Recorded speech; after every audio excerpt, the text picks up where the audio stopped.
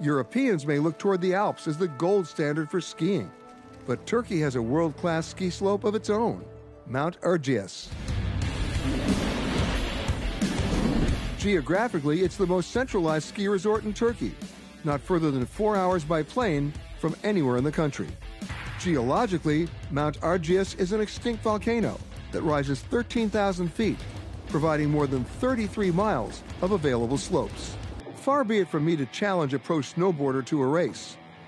I'm supposed to come down this hill? There's got to be a better way. Are you ready? I'll tell you what, you go your way, Yeah. I'll go mine. Let's go. Okay, go.